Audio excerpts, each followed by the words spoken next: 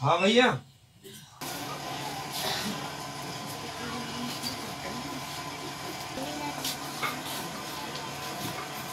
वहाँ से लाया बोतल भी It is, it is the main point of this FIR.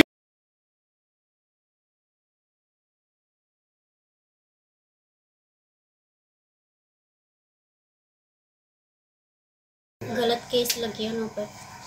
काम करते हैं धोबी धंधा वो।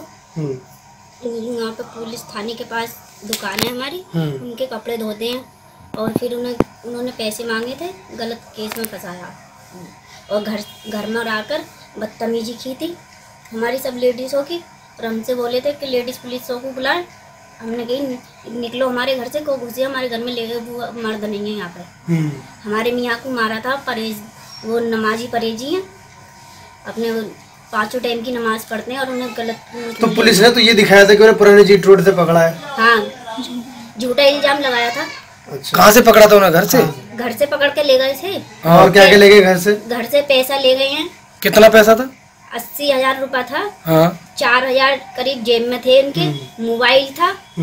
और उन पे इल्ज़ाम लगाकर उन्हें मारते पीटते ले गए यहाँ से। उस इस अलवारी से पैसे निकले ज़बरदस्ती खुलवा कर। किसने? इसने पुलिस ने। अच्छा। और पैसे निकालने के बाद वो बोले कि तुम गैर कानूनी काम करते हो ये हवा महल बना रखा है तुमने। कितने पैसे थे? चौरा अस्सी हज़ार रूपए यहाँ से निकाले सैतालीस सौ रूपए मुस्तकिम की जेब में थे। अच्छा। प्लस दो मोटरसाइकिल ले गए हमारी और एक मोबाइल ले गए जिसमें चोरी की बताई वो मोबाइल वो मोटरसाइकिल। नवेडा की एक केस लगा दिया नशीला पाउडर लगा दिया और समझे पिस्टलें लगा दी।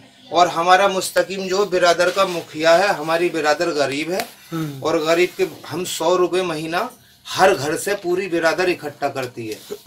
उसका ही ये जो रसीद है काय की रसीद है? ये रसीदें कब्रिस्तान के चंदे की। वही पैसे थे वही पैसे थे उसका ये मुखिया है। अच्छा। समझे? अब हमें इतनी परेशानी हो रही है इतनी परेशानी हो रही है इलाहाबाद जाते हैं कल इलाहाबाद से आया हूँ।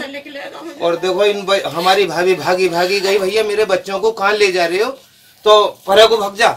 और रुमाल भी उनका दिख रहा है जिसमें पैसे ले जा रहे हैं। हमारी सीडी में उनका रुमाल है। जो जो जो बेटी है आपकी जी। उनसे क्या कहा? उनसे ये कहा कि कुछ दिखा। क्या कहा? उनने कि ये खोली सेफ़ अलवारी हाँ। हमें इसमें पता है कि कुछ रखा है। अच्छा। और पैसे रखे तो गट निकाल के ले गई फ़ौरन। थाना खुर्जा नगर कोतवाली में वादी ने न्यायालय के समक्ष अधूरे तथ्यों को रख करके मुकदमा पंजीकृत कराया है। हालाँकि इसमें इन्वेस्टिगेशन की जा रही है सर्किल ऑफिसर के द्वारा और जल्द ही समस्त तथ्यों के साथ इस केस का अनावरण किया जाएगा। सर पीड़ित का कहना है कि लूट की धाराओं में उसने मुकदमा दर्ज कराया और उसको घर से उठा के ले गए और मुठभेड़ दिखाई। इस संबंध में जाँच की जा रही है। इन्वेस्टिगेशन में ही क्लियर हो पाएगा कि उसको कहाँ से उठाया गया है और किन हालातों में उसको जेल भेजा। सर सीसीटीवी फुटेज जो बताया जा रहा है वो सर कब का है? इस संबंध में अभी हमको जानकारी नहीं है कि सीसीटीवी फुटेज किस दिन का है बट उन्होंने जिस सीसीटीवी फुटेज को रख करके मुकदमा पंजीकृत कराया है। उसमें हमारे पुलिसकर्मियों का मानना है कि ये सही नहीं है। वो अपने बचाव में सारे सबूत पेश करेंगे और उन सबूतों के भी यहाँ पर विवेचना की जाएगी और जो भी सत्य होगा, उसके आधार पर दोषियों के खिलाफ कार्रवाई होगी।